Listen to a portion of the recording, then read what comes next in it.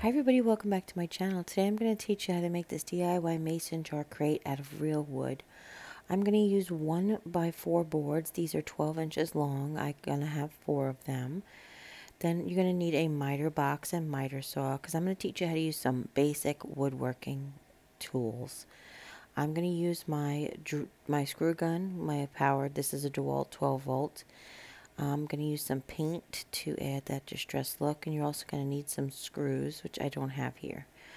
Um, but what I measured three of the uh, quart size mason jars. You need to make the box the inside of the box 11 by 4 um, and they'll fit perfectly. And for those of you who are new to woodworking a 1 by 4 is not actually 1 inch by 4 inches it's 3 eighths of an inch by 1 and 3 quarters of an inch normally. So what we're doing is I'm taking the piece of wood that's going to be the bottom and I'm measuring it against one of the sides and I'm drawing a line to mark where it is. And now I'm putting um, the side board against the bottom board and I'm pre-drilling where I want my three screw holes to be. When you're screwing into the side of a thin piece of wood like a 1 by 4 um, you don't want the wood to split, so you need to remove some of the material, and that's why we pre-drill our holes. You don't want your drill that you pick for pre-drilling to be bigger than your screw, but you want to make sure that it's big enough that you won't split your wood. Okay? So I'm marking where I want um, the screws to go and then I'm pre-drilling and I'm using the extra board that's going to be the other side just to help uh, stabilize the, the piece of wood. Alright.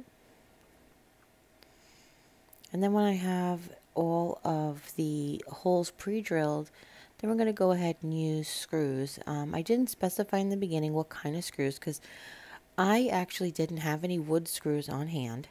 These are actually sheetrock screws and they work fine because this isn't a kind of project where it's going to be holding a lot. Um, you could also probably nail and glue, which is another video that I think I'm going to do next. I'm going to teach you how to use just nails and glue. Um, and this was just like um, to show you guys some basic woodworking tools and they're not very expensive. You can get a drill gun or a screw gun for about $20 and the miter box was like less than 10 with the saw. Um, and there are lots of tricks to using miter boxes, but I'm just going to show you a couple, you know, Pop taught me, uh, I always had a problem. Let the saw do the work. Stop pushing, stop pulling. Just let the saw do the work. I'll show you when we get there. But now I'm drilling um, screwing into where I pre-drilled. And um, it isn't yet that I figured out that I need spacers. So um, it's not till I went to go put the jar in that I realized that it was a little too tight. So we're going to adjust that later. But right now you can see I'm doing both sides. And it's funny because I actually pre-measured I put the jar in there to see if the space was wide enough. And it was but not until I put the sides on and then I don't know. Sometimes your wood can bow, and uh, I think that was part of the problem we had here. Um, so now I am loosening it up a bit because the jar didn't fit. um, actually, really funny. The jar fit on one side, and when I slid it across the other side, it got tighter. Don't ask me. I don't know. So I'm using the jar then to keep to stop screwing. Basically, I'm using the jar as a spacer, but be careful when you do this. You don't want to accidentally screw into the jar.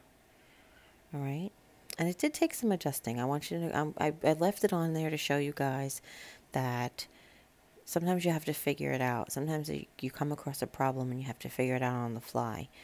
But um, that's what I'm here for. I'm here to figure it out for you. But you guys can see that um, there's a process, and I wanted to share the process with you for sure.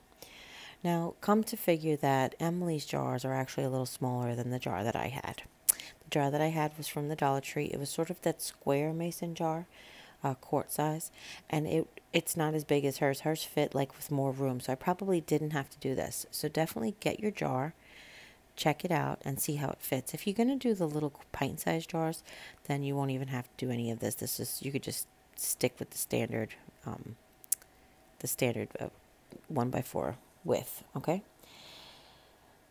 Now, when I think I have it all straightened out, I think I finally have it. I'm taking the board that was going to be used for the sides and I am measuring the width of the box and I'm marking which width goes to which side of the box if that makes sense so I've marked it with A and B and now I'm just making the line straight because the boards were warped the the lines wanted to be warped as well so I went ahead and straightened them out by its widest point so now I'm going to show you how to do the miter box. The miter box has a little lip on it where it goes to the edge of your table.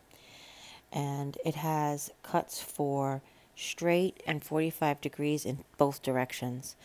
Um, and you want to let the wood, the, the saw do its work, okay? okay, my dad always used to be like, stop pulling, stop pushing. I believe this is a back saw, which means it actually cuts on the pull. Um, but I tend to want to push too because I'm impatient. But it doesn't really take that long and it doesn't take that much skill or strength to get through wood on a miter box. Um, but this particular miter box does not let you go straight through to the bottom so you don't cut the plastic. Um, so I've had to mark the other side and turn it over. Um, the miter box that we had growing up will let me go through all the material, but um, I lost it in the move, so I can't even tell you exactly where it went, uh, to be honest with you. So I bought this one when I moved here. Um, and uh, that's sawdust on the table. I'm not cutting my table. but the um, this particular miter box saw has a, um, a guide on the top that won't let you cut all the way to the bottom. Okay? And I always put it away when I'm done so to protect me and everything else, my surfaces and, and the blade. All right, so I'm just doing a little bit of cleanup and don't worry, there's a garbage can down there. Um, we'll do a little bit of cleanup and the get to screwing. So we're going to do the same thing we did before. We're going to pre-drill um, our sides as to not split the wood. And I'm marking sorry, I'm marking the wood on the inside. So now I'm looking like these boards don't fit. I just measured them and cut them. I measured them to the thing. So it wasn't even like measuring wrong. It wasn't even like saying it's four inches and I needed six. It, I literally put it up to the piece of wood. So, um, yeah. So that happens sometimes. And that's what caused the the box to close in on me a little bit. I ended up putting in spacers. But you're going to pre-drill just like we did before. You're going to mark where you need to pre-drill. You're going to mark where you need to pre-cut. And there you go. So I'm marking on the inside where I need to pre-drill. And you can always transfer that um, that measurement to the um, inside. So basically, I could pre-drill the sides first and then once I have the sides up against the the um, I'm sorry, pre-drill the ends first, and once I have the ends up against the side, then you can pre-drill. You could drill through that hole that's existing. Um, but that's just a you know if you have trouble holding on to the pieces of material together, I guess is my piece of advice. All right. And then once I have all of this holes pre-drilled, then I'm going to go ahead and screw it in. And again, this is just supposed to be very rustic, very just a decorative um, place to wrangle her mason jars. She had quart-sized mason jars with wide mouth tops to hold her cooking utensils, as you saw in the beginning and you'll see here at the end. So I pre-set these screws. There we go. I turned the board upside down accidentally. And trying to line them up to the pre-drilled holes.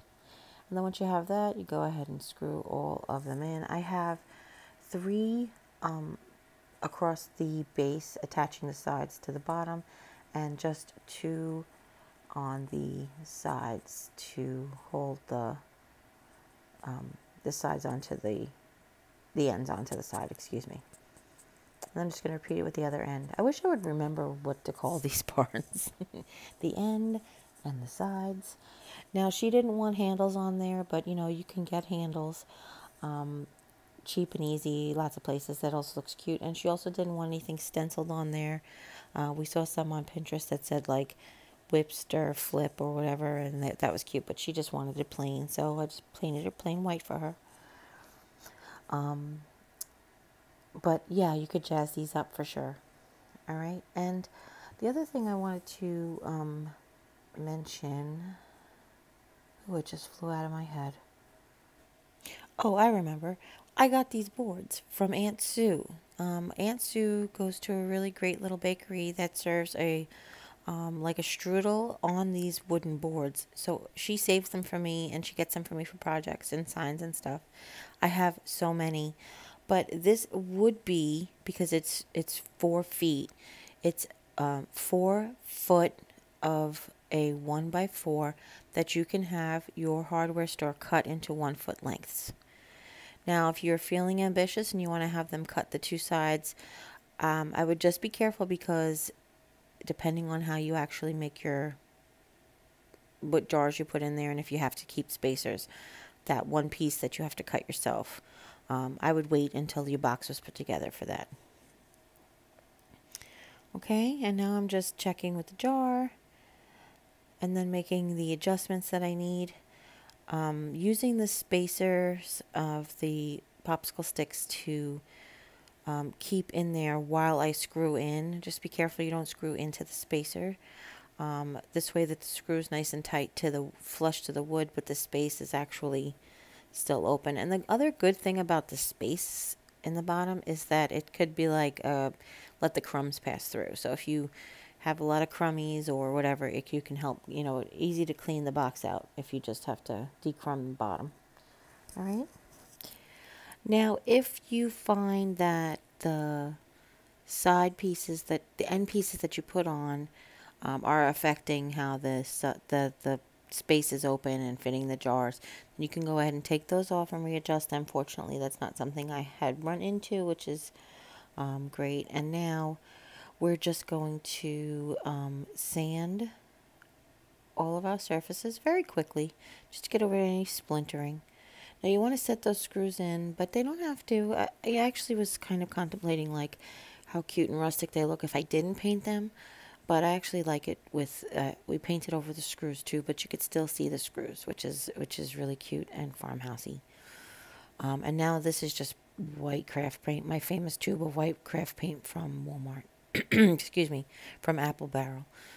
We've gotten a lot of use out of this, and I'm just using a foam brush um, to paint the ends. I'm actually not even painting the inside, um, just to add to that rustic, you know, feel. Excuse me, to that rustic feel. And I'm, I'm stippling the end pieces because they'll soak in a lot of paint. Uh, where the cut edges are, I'm sorry, of the end pieces. And then the end pieces I'm painting the same. Got some paint on my table, don't tell Jim. And I am painting the bottom, and that's more for protection of the counter and uh, protection of the wood from the counter and that kind of stuff. So, and then the very lip, and but I'm not going to paint the inside because the jars are going to go in there and it'll be cute. It'll like enhance the uh, country feel of it. All right, and that's it. So here's all of her stuff. I hope you really enjoyed this tutorial. Hopefully you give a little bit of woodworking a try. I think it's a little bit for everybody. And if you have any questions, leave them in the comments down below. Don't forget to give this video a thumbs up if you like it. Share with friends and family. Anybody you know might be interested in making one of these.